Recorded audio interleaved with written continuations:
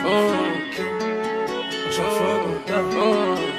Morning Devils Lake High School. Here are announcements for Wednesday, February 24th. I'm Brant. And I'm Zach.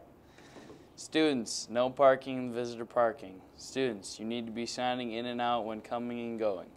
Firebird of the, Firebird of the Month at 1.30 today on Facebook Live. All students who receive packets to apply for Honor Society who intend to complete them need to have them turned into Mrs. Nelson's room 112 by Friday, February 26th. Staff and students, Mr. Weberg has Firebird jerseys for sale in his office.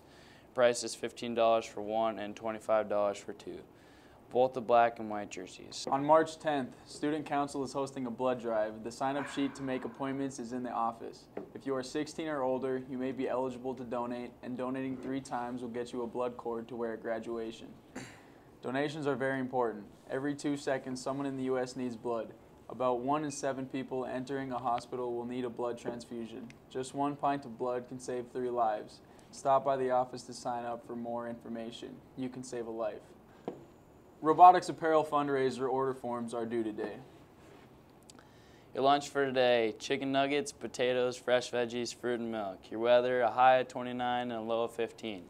20% chance of precipitation. Your quote of the day is give her the beans. These have been your morning announcements. Have a great day.